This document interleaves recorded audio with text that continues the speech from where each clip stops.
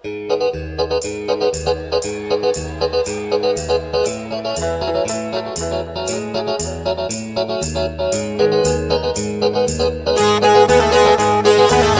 नमस्ते, सत श्रीकाल क्या हालचाल, क्या बोलते पब्लिक चिल मचा दे welcome back to new blog दोस्तों, सम्मान के साथ आपका गर्मियों वाला ब्लॉग में स्वागत है। बहुत भीषण वाली गर्मी हो रही है और माशाल्लाह हमारी मॉर्निंग हुई है। सुबह के तकरीबन सात बज रहे हैं और हमारी चाय आ चुकी है। तो चाय पीते हैं और दानियल ने भी ले ली अपनी चाय टोस्ट के साथ। सही लग रही है दानियल? वाह यार, मेरी बेटी को बहुत पसंद है चाय टोस्ट तो दोस्तों, जल्दी से लेते हैं हमारा ये ब्रेकफास्ट है और जल्दी से करते हैं। फिर क्या है कि गोश्त लेने जाना, आज कोसर भाई आ रहे हैं तो गोश्त लेके आते हैं और गोश्त बनाएँगे नीचे ही। तो चाय पी लेते हैं जब तक जल्दी से फटाफट। चलो दोस्तों, चलते हैं। गोश्त लेके आते हैं। कसाईवाड़े से गोश्त लेके आना है मुझे। क्योंकि आपको बताया मैंने, कोसर भाई आ रहे हैं और नब्बू महाराज को लेके जाएँगे। तो नब्बू महाराज को लेके चलते हैं। अपनी ओला को साफ़ कर लेते हैं थोड़ी सी। और चलते हैं। नब्बू!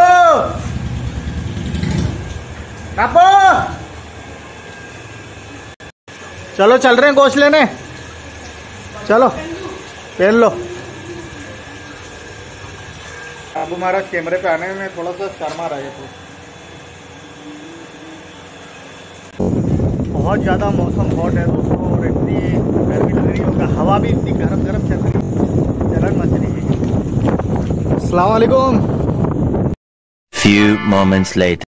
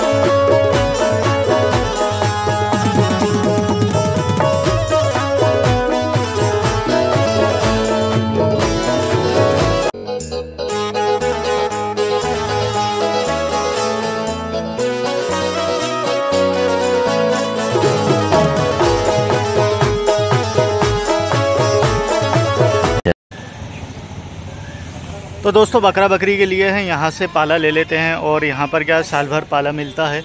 और अभी बकरा ईद है तो पाला बहुत आ रहा है अभी। नहीं तो पाला आता नहीं है। और बड़ का भी अच्छा आ रहा है, पीपल का भी पाला अच्छा है और मक्की का भी है। तो ले लिया है हमने हमारी गोट के लिए पाला। तो चलते हैं।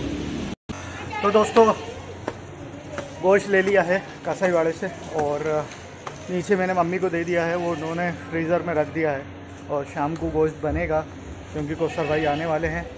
और अभी सडनली थोड़ा सा मौसम चेंज हो गया है और हवा भी चल रही है और काले काले बादल दिख रहे हैं। लगता है कि बारिश होगी। बाकी बारिश इतनी ज़ोरों की नहीं हो रही, ज़ोरों की होना चाहिए तो थोड़ा ठंडा हो। थोड़ी बहुत बूंदाबांदी आए तो क्या मतलब?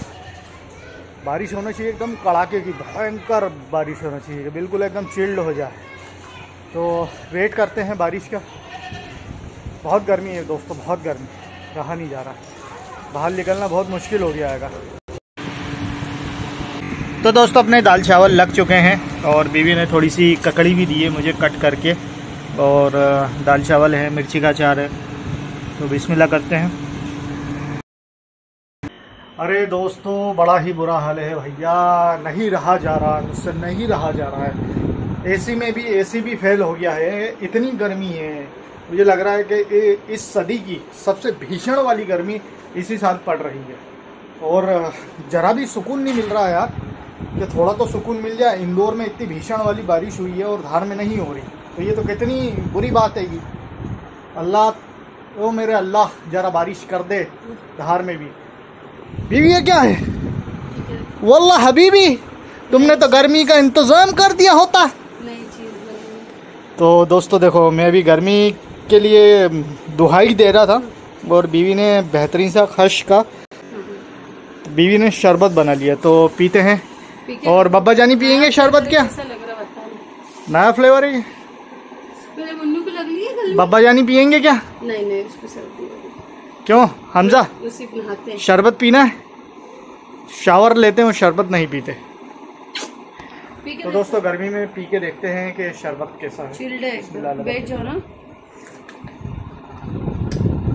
आह खश है और खश का जो फ्लेवर है वो शानदार आ रहा। है अच्छा है ना? अच्छा लग रहा। तुम पी के देखो ना तुम्हें कैसा लग रहा? आह, थोड़ी राहत इससे मिल सकती है। कुछ सेकंड जब तक हम इसे पीते हैं तब तक थोड़ा सा राहत मिलेगी पीने में। बीवी पी के बताओ कैसा लग रहा तुम्हें? अच्छा लग रहा? तो दोस्तों सोनू भाई जी जा रही हैं और कौसर भाई आए हैं लेने के लिए तो चलते हैं।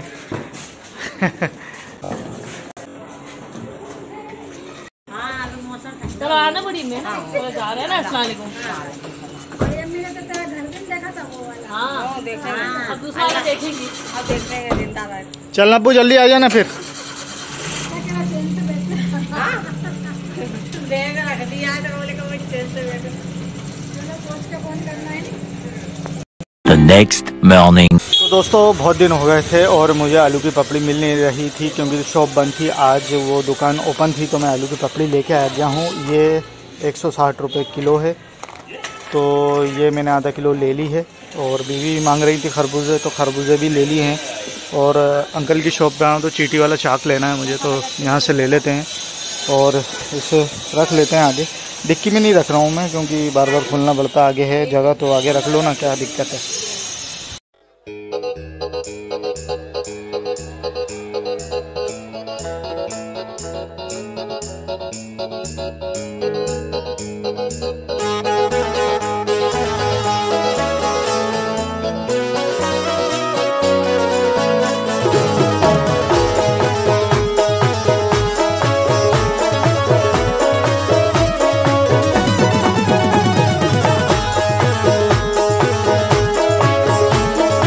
तो दोस्तों, देखा आपने हमजा को कितनी गर्मी लग रही है। वो कूलर के सामने ही बिल्कुल एकदम चिपका हुआ है, क्योंकि बहुत ज़्यादा गर्मी है और सिर्फ़ बड़ों को नहीं, बच्चों को भी बहुत ज़्यादा गर्मी लग रही है। तो दोस्तों, सोनू जी चले गई हैं और कल कोसा भाई आए थे उन्हें लेने। तो आज के ब्लॉग को करते हैं दोस्तों, हम यहीं एंड मिलते हैं एक नए ब्लॉग में। तब तक के लिए आप अपना बहुत सारा ख्याल रखिए, चैनल बनाए हैं तो लाइक कीजिए, कमेंट्स कीजिए और सब्सक्राइब करना ना भूलिए। तब तक के लिए शब्बा खैर।